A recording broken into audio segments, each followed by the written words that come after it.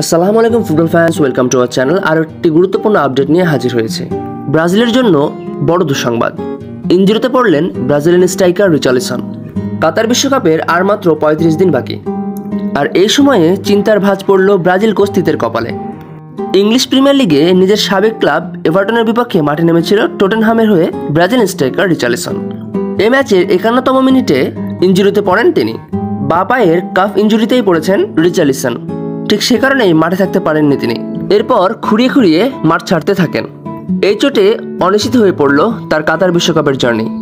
Match শেষে ESPN ব্রাজিলকে দেওয়া সাক্ষাৎকারে তিনি বলেন, এটা বলা কঠিন, এটা আমার স্বপ্নের কাছাকাছি।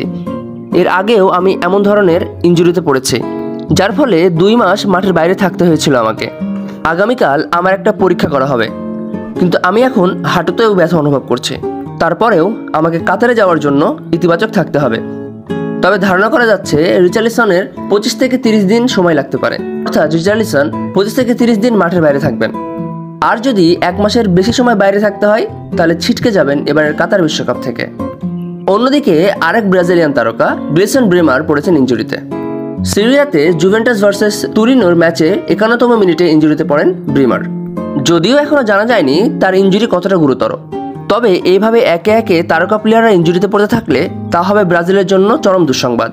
রিচার্লিসন কতদিন মাঠের বাইরে থাকবেন বা গ্লেসর ব্রিমার ইঞ্জুরি কতটা সেটা জানার জন্য আমাদের বেশ খানিকটা সময় অপেক্ষা করতে হবে।